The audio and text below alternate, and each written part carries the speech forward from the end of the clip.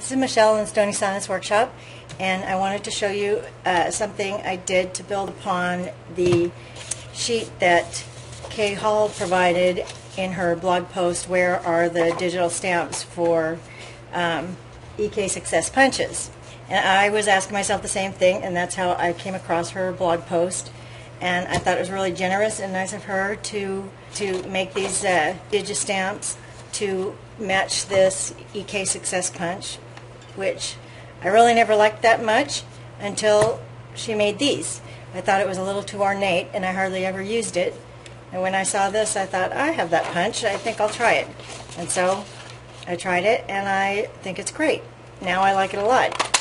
Uh, so a lot of people were asking, these need to be resized. You know, why did you leave this margin around here? I was thinking the same thing until I actually put it on a card and I understood exactly why she left them there, and I'll show you why.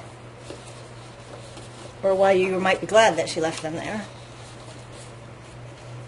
Once you punch it out, you can either use it directly like this and it has a nice little uh, border around it, right? Or if you want to punch a little window in your card like this, and then you can, if you take your scissors and just, anyway, you just follow this, follow exactly the inner design, you can cut out a little bit smaller version of that shape and it gives it some dimension and layering effect. So um, I think that's why she left those. So now you will appreciate that. But if you still want it to fill your entire punch, I have the answer for you because uh, one of the links that got me thinking about how I could use this design to work with any of my punches. And I'll show you what it planted the seeds for. I was feeling embarrassed that I had posted posted the um, comment about you know if you ever uh, I hope I hope you'll make a a label design or digistamp that matches this journaling punch because I really love it. And then I felt embarrassed that I had done that and started to think, well, you know, maybe I should do it myself and share it. So what I did instead was come up with this. And this is my version of Kay's stamps. Let's I find one that's good. This I did this on cream color cardstock um, on a black and white printer, black laser printer. I used a um, custom shape, the shapes tool in my in Photoshop, and um, made these little shapes. And then I made a seamless background of just a couple of pixels of black and a couple of pixels of white. Save that as a background pattern. If you want to get right in between these two, just line, line it up like this. Cut a little strip. And then you can use any of your punches and it fits any of them. Watch. I'll bring it down a little bit so you can see what I'm doing.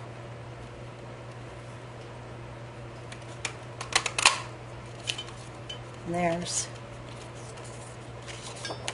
there's one. That's with the real estate sign. And here's the journaling, EK Success journaling punch. Almost everything ends up looking cute. And it's really easy to line things up on this one because it's got these little pointy doodads on either end, so you know that's the horizontal center. You line that up, kind of eyeball here. Actually, you can use these brackets to line up the lines. Problem with these ones that have these EK Success ones that add these extra designs in one punch is that you can't punch out the window with it because unless you want this extra stuff. I don't like that. So there's two designs out of that same thing. And let's do it with this. I don't know what this one's called, but it's got three kind of, maybe it's called library tags or something. I can't remember. It's very simple and it's really a really handy one to have. Line it up like that. Maybe use those little extras for something else. There you've got another one. All from the same exact strip. The middle, the, the straight line is the most versatile one of all. And let me show you why. It's very, um,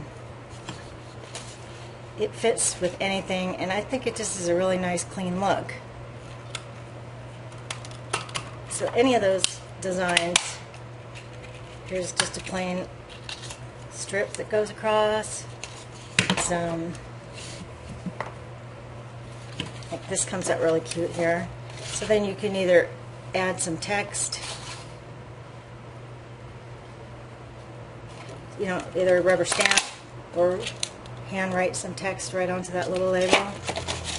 And then here's something else really cute that's good for layering is you can use your uh, Fiskars or any um, circle punch and it comes out really cute too. Isn't this cute?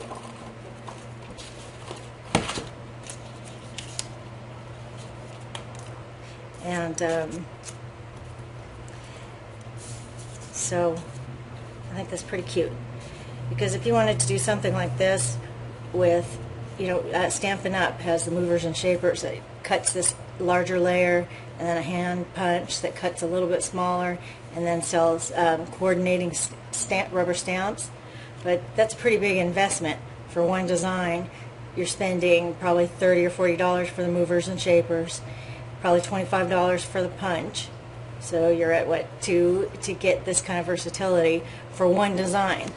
So uh, that's why I like this. Cute, huh?